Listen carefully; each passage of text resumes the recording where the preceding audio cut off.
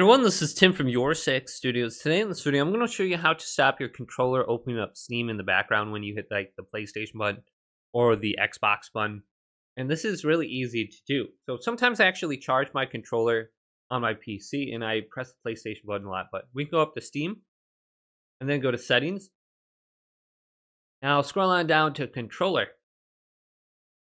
And we want to go to where it says External Gamepad Settings. Guide button focuses Steam turn this off. Now, when you press the PlayStation button, it's not going to pop open Steam in the background, even though you have your controller connected. So you can charge your controller on the PC and then play your PlayStation 5. So this is very useful. But hopefully this video did indeed help you out. If did, leave it a big thumbs up. And subscribe my channel down below for more tech of videos coming up next on Your Six Studios.